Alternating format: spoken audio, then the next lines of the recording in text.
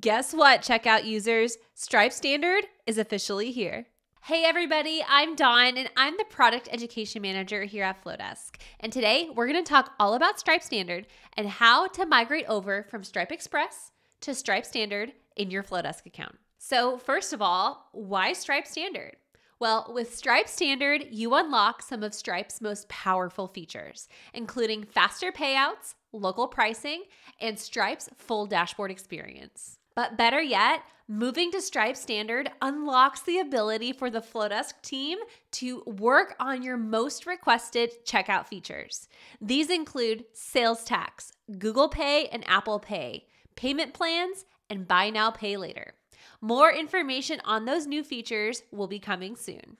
Let's talk about how to migrate over from Stripe Express to Stripe Standard in your Flodesk account. If you are a new checkout user and you have not previously connected your Stripe account with your Flodesk account, you are in luck. When you go to connect your Stripe account, you will automatically be connected with a Stripe Standard account. No additional steps are required on your end.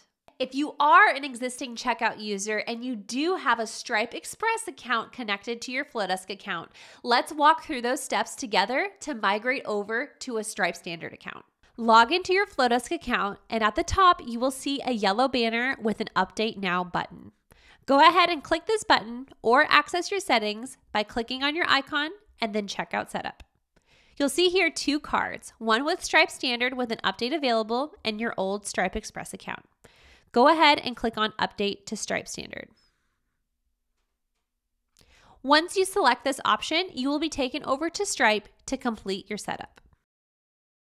Once you have completed your Stripe setup, you will be brought back to the Flodesk window. Once at Flodesk, you will see your Stripe standard card with a yellow banner at the top that says pending. Now, keep in mind that it can take one to two days for your pending review to complete.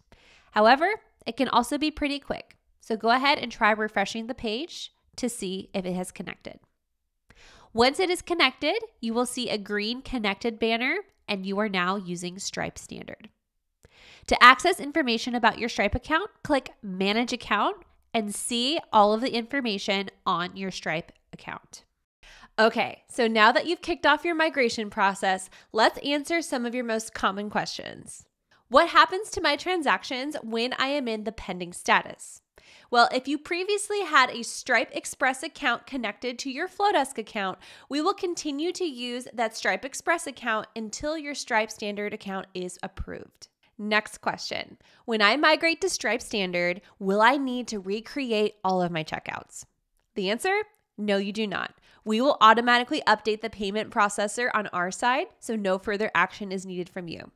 This does mean, though, that your checkout might have some transactions from Stripe Express and also Stripe Standard. When you view your transaction list in your checkout and click on one of the transactions, you will see a label at the top that says if it was a Stripe Express payment or if it was Stripe Standard.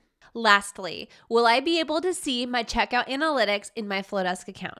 The answer is yes. Regardless if you're using Stripe Standard or Stripe Express, your checkout analytics will remain the same. One last important note. Even if your Stripe Express account is inactive, you will still be able to access your dashboard and also take action on any of your previous orders using Stripe Express. There you go. Now you are ready to take full advantage of what Stripe has to offer with your Stripe Standard account. If you have any questions or you need additional assistance, visit our help center at help.flodesk.com or reach out to our support team at support at flodesk.com.